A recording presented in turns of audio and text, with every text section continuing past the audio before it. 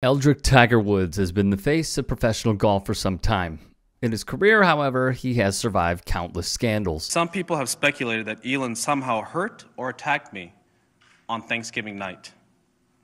It angers me that people would fabricate a story like that. We have learned that arguably the most famous athlete in the world, Tiger Woods, has been released from a Florida hospital after crashing his own car in the wee hours of the morning. Thanksgiving night 2009 was just the start. I was married without children. Nine years later, I'm a proud American and I have two beautiful children. But I'm no longer married.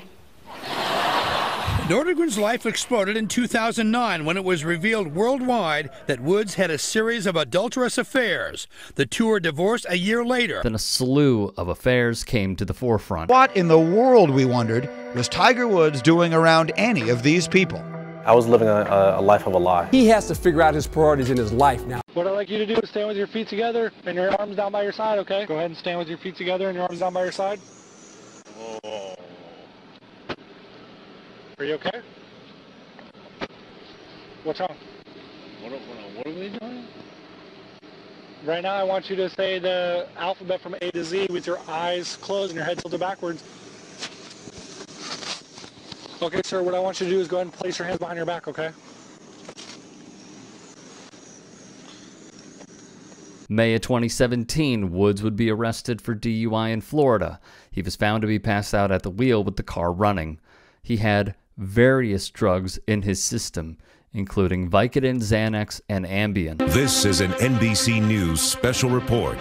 Here's Lester Holt. Good day, everyone. We're coming on the air with breaking news. It has to do with golf superstar Tiger Woods, who has been injured in a serious car accident in Palos Verdes, California. We're learning more about the moments leading up to this horrific scene and how Tiger Woods was rescued from the wreckage it's tragic to look at. It's very, very sad. In February 2021, Woods was in a single vehicle crash after hitting a center divider, a tree, and rolling over. He would undergo more surgeries on his body after having five back and knee surgeries. He has a confidant in former President Donald Trump receiving the Presidential Medal of Freedom.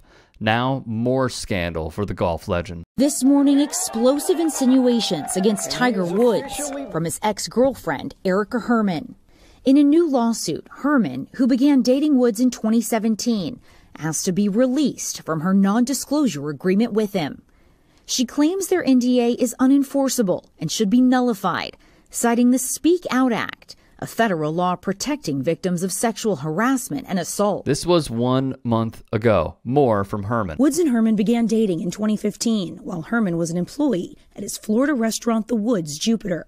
According to court documents, Woods forced her to sign an NDA or else be fired from her job. Her team claims Woods, who was Herman's boss at the time, imposed an NDA on her as a condition to keep her job when she began having a sexual relationship with him. A boss imposing different work conditions on his employee because of their sexual relationship is sexual harassment. Essentially, the Woods team is arguing Herman signed Woods' NDA and any disagreements between them be settled in private by an arbitrator. They want the case halted immediately. The biggest alleged threat is Woods threatened to fire her if she simply did not sign it. This case is yet another cautionary tale about when that boundary between a professional relationship and a romantic or sexual relationship, consensual or not, there have been laws passed recently that would say those types of um, clauses and agreements are not enforceable. Herman's lawyers have brought into litigation the Speak Out Act. It prevents the enforceability of an NDA agreed upon prior to a dispute that involves SA or harassment.